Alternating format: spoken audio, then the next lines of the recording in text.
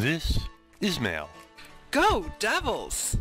Mal has seen Dropbox for Education that a number of coworkers have been using, but Mal is always on the run and would like to know if Dropbox is available for mobile devices.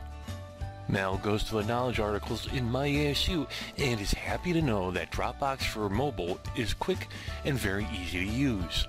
On the mobile device of choice, Mal finds the App Store and downloads the Dropbox app onto the device of choice.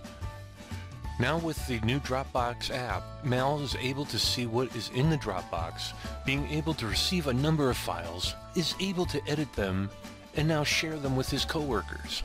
Mal is always on the go and happy to know that it is easy to keep in touch with other members of ASU with Dropbox for Education.